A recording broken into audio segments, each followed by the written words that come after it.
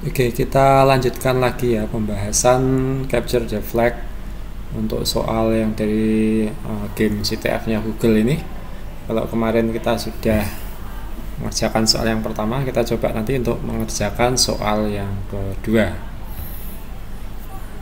Oke, ini saya sudah menyelesaikan soal yang kedua. Sekarang muncul di tempat saya di map saya ada soal ketiga dan keempat. Oke, kita lihat dulu yang tadi soal yang kedua ya ini. Ini sudah komplit. Kalau belum nanti di bawah ini ada field untuk menuliskan jawaban yang betul gitu ya. Oke, untuk yang kedua ini apa yang perlu kita lakukan? Seperti biasa ada soal cerita. Ini tidak uh, saya baca, saya langsung ke sini ya di sini ada tombol untuk download. Kita nanti akan mendownload sebuah file. Kemudian ada soal di file tersebut. Oke bisa kita download terlebih dahulu.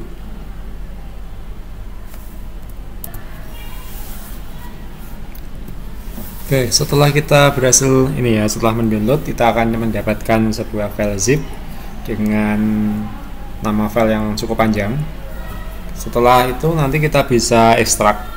Nah, setelah kita ekstrak kita mendapatkan file png ya namanya logiclog.png ini kalau kita buka nah ternyata ada rangkaian gerbang logika. Apa yang harus kita lakukan kalau kita baca? Ini di bagian bawah ada instruksi dalam bahasa Inggris ya.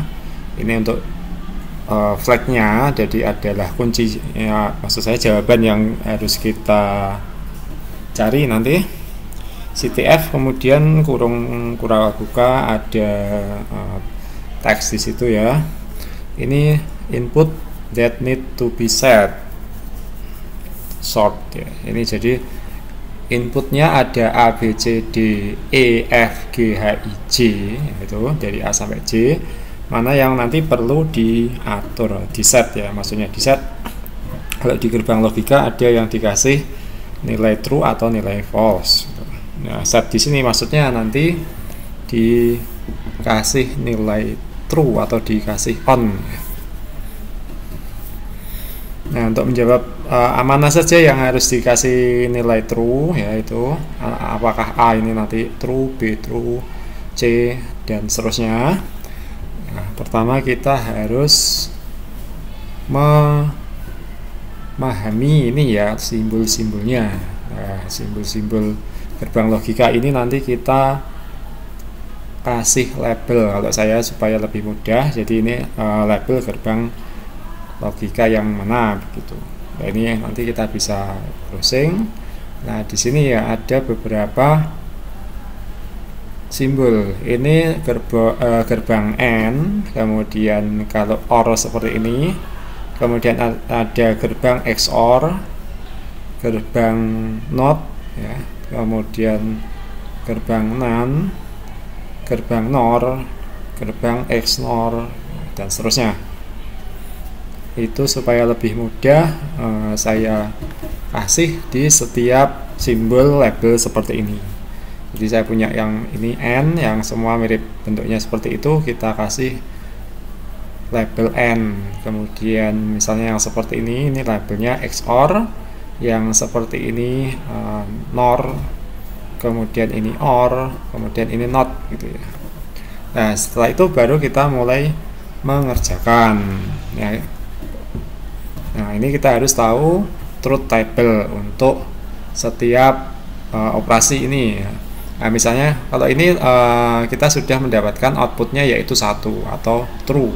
Nah, nanti cara mengerjakannya adalah dari output nanti kita mundur ya sampai nanti ke input. Nah, kalau n itu dia bisa dapat satu atau bisa dapat true itu kalau uh, inputnya itu sama-sama true atau sama-sama satu. Nah, jadi yang sini saya kasih satu, bawahnya juga saya kasih satu. Seperti itu ya. Nah, terus saya mulai uh, masuk lagi. Nah di sini ada gerbang N. Nah gerbang N sama seperti tadi itu inputnya juga harus true dan ini juga harus true. Nah, jadi saya dapat satu dan satu untuk uh, input yang gerbang N yang di atas. Kemudian yang di bawah ini juga sama ini juga nilai true atau satu ini didapat dari ini juga harusnya nanti ketemu uh, dapatnya satu dan yang bawah juga satu atau true. Itu ya jadi kita harus hafal atau tak uh, nanti bisa browsing truth table-nya. Nah ini ada gerbang n.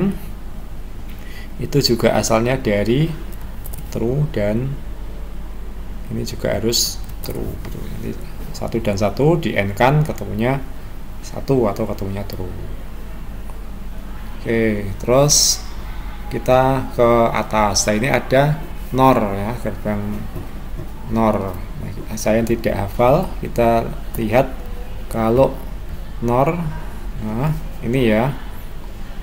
Kalau nor bisa dapat true atau bisa dapat satu? Ya ini ini inputnya harus keduanya false.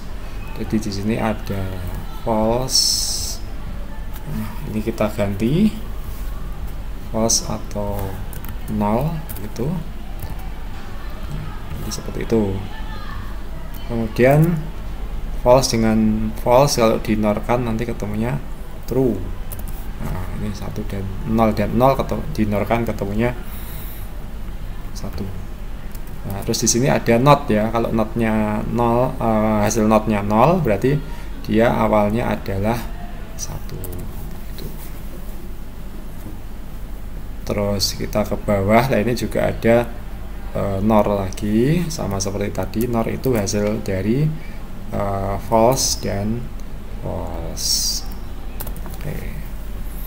Terus di sini ada not ya. Kalau or ya or yang menghasilkan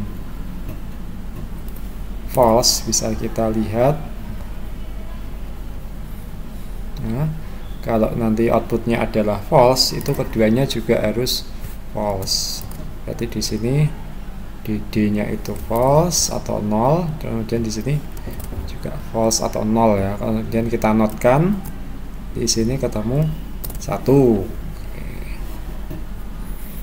terus ini juga ada or berarti di sini uh, awalnya dia oke okay, ini 0 kemudian e nya 0 ya ini kita notkan notnya 0 berarti f nya 1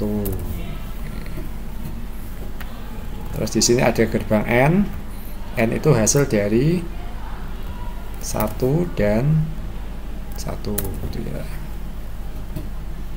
kita kurang dua lagi ya terus ada uh, nor nor itu kalau ketemunya satu dia nol dan nol ya. Berarti ini g nya nol hanya juga nol. Ini ada XOR kita bisa cross check XOR itu. Nah, ini uh, truth table-nya di sini ketemu satu. Nah, XOR kalau ketemu satu bisa 0 dengan satu atau satu dengan 0 nah ini 0 hanya satunya uh, i nya satu. Nah, ini kita XOR an ketemunya satu. Oke berarti ini sudah cocok. Nah terus kita mendapatkan dari A sampai J itu sudah ada nilainya ya. Terus ini kita uh, jawabannya adalah mana input yang true ya kita nanti kumpulkan yang true atau yang nilainya satu yaitu B C F I J gitu ya. B C F I J. Jadi nanti untuk jawabannya yang di sini nanti ketemu uh, jawabannya CTF seperti ini B C F I J. Nah, kurung kurawal tutup. Ini nanti bisa dimasukkan di bagian uh, jawabannya. Nanti kita submit kemudian ketemu ya itu. Nanti hasilnya terus. Soal nomor 3 dan 4 akan terbuka. Oke ini tadi saya sudah mengerjakan. Ketemunya sama ya ini yang uh, ini jawaban saya yang sebelumnya B F I J. Oke. Oke itu untuk soal yang kedua. Nanti kita uh, ketemu lagi untuk membahas ya soal-soal berikutnya oke sampai ketemu pada video berikutnya